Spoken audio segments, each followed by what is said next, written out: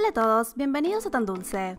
En el video de hoy quiero compartir con ustedes la receta de uno de mis postres favoritos. Vamos a estar haciendo un mil hojas relleno de dulce de leche. Como podrán ver, yo lo hice en forma de torta medio rectangular, pero también le podrías dar cualquier otra forma o incluso hacerlo como postres individuales. Los ingredientes que vas a necesitar para hacer este riquísimo mil hojas son 400 gramos de manteca o mantequilla a temperatura ambiente y 100 gramos de harina para el empaste del hojaldre.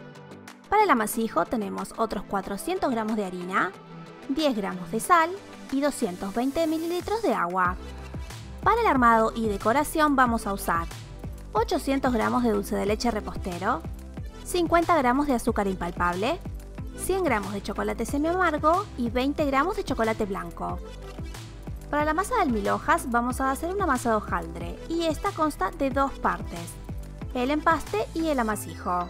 Estos dos los vamos a preparar por separado y después los vamos a juntar. Primero vamos a hacer lo que se llama el empaste. Para este solo tenemos que mezclar la manteca con los 100 gramos de harina hasta integrarlos. Asegúrate de tener la manteca a temperatura ambiente para hacerlo porque si no va a ser imposible. Una vez que lo tengamos listo, vamos a envolver esta pasta en papel film y con las manos lo vamos a aplanar dándole una forma cuadrada o rectangular.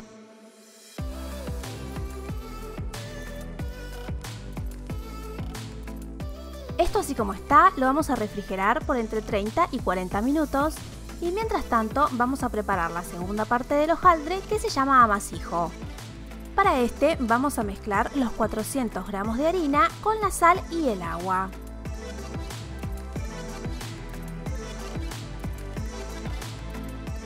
Cuando veas que ya se absorbió toda el agua, vamos a pasar la mezcla a la mesada y la vamos a terminar de integrar a mano.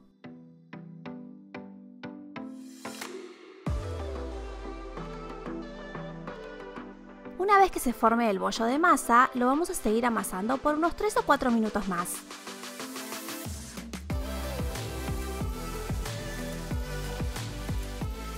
Ahora lo vamos a envolver en papel film y lo vamos a dejar descansar a temperatura ambiente por unos 30 minutos.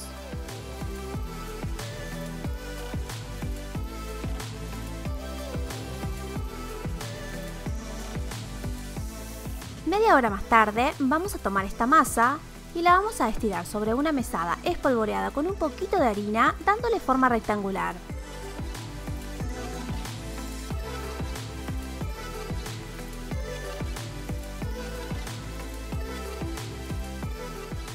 Después le vamos a poner en el centro el empaste ya frío y lo vamos a envolver con el restante de la masa que queda a los costados.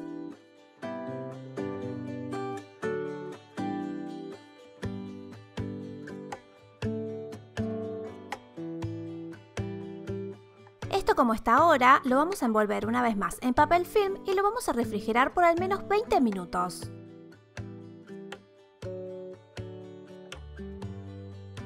Cuando haya pasado este tiempo, vamos a estirar la masa a lo largo, siempre en la misma dirección, para que nos quede con la forma de un rectángulo bien largo.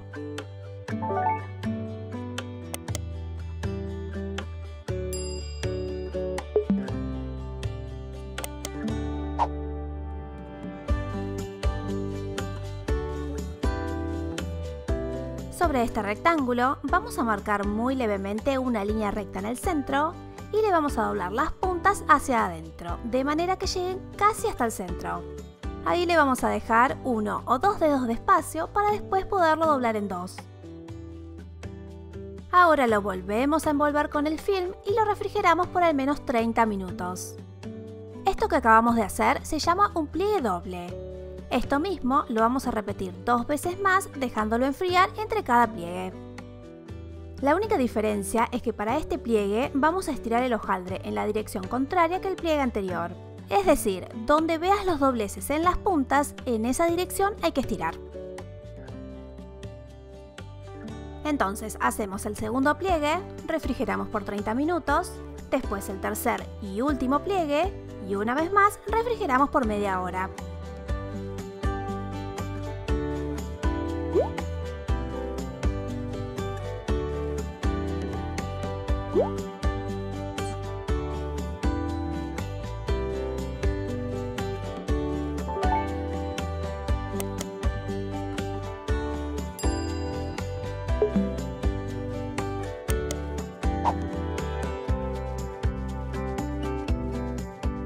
Ahora que tenemos el hojaldre listo y frío, lo vamos a cortar por la mitad para trabajar por mitades. La mitad que no está en uso la vamos a volver a refrigerar para mantenerla fría.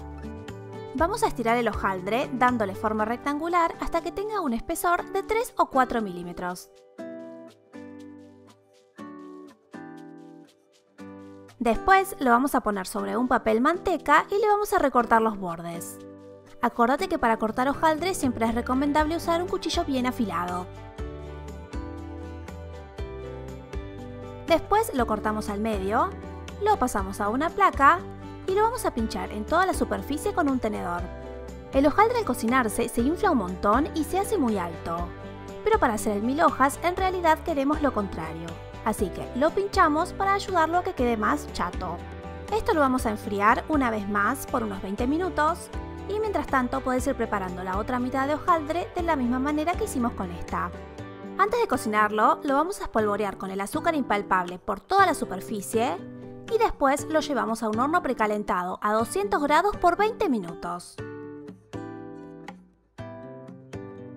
Cuando haya pasado este tiempo, lo vamos a retirar del horno, cubrirlo con otro rectángulo de papel manteca y le vamos a apoyar encima otra placa.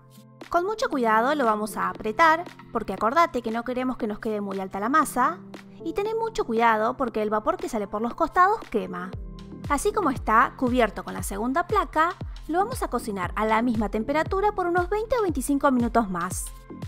Cuando esté listo, lo vamos a retirar del horno, le vamos a sacar la placa que le estaba haciendo peso y lo vamos a dejar enfriar a temperatura ambiente. Cuando ya esté frío, le vamos a recortar los bordes para que nos queden bien derechos y para esto hay que usar un cuchillo cerrado para no romper el hojaldre.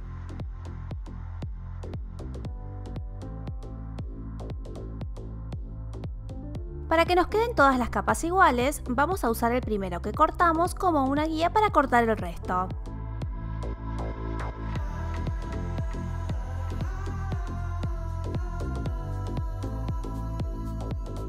Todos esos recortes que nos van quedando los vamos a ir poniendo en un bowl aparte porque es lo que vamos a usar para cubrir los costados del mil hojas.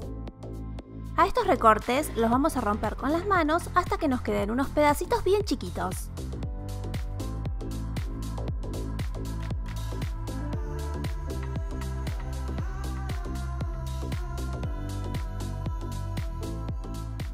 Pasando el armado, primero vamos a untar un poquito del dulce de leche en la bandeja y apoyamos la primera capa de hojaldre.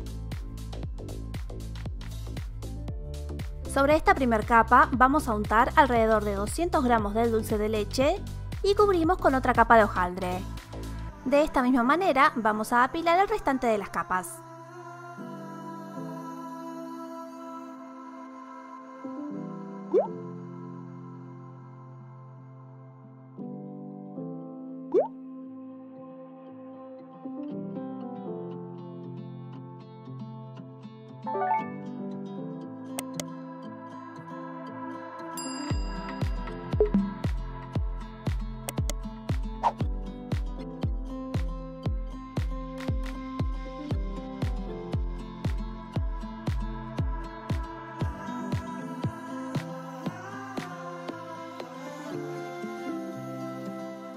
Con los 200 gramos restantes del dulce de leche vamos a cubrir los cuatro costados del mil hojas.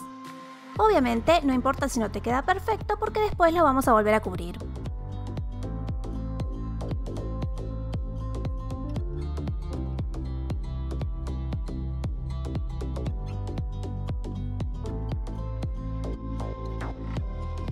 Ahora vamos a tomar el chocolate semi amargo, que yo acá ya tengo derretido, y lo vamos a volcar por arriba de la torta.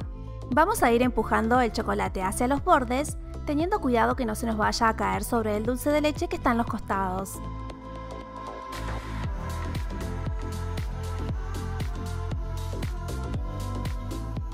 Acá tenemos el chocolate blanco también fundido y dentro de una manga pastelera descartable sin ninguna boquilla.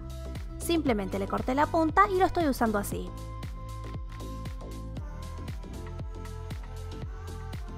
Por último, vamos a tomar los recortes del hojaldre que habíamos partido y los vamos a pegar sobre el dulce de leche de los costados. Si quisieras hacer este paso a mano está bien, pero yo prefiero usar una espátula para hacer presión contra la torta de forma más pareja y así queda más prolijo.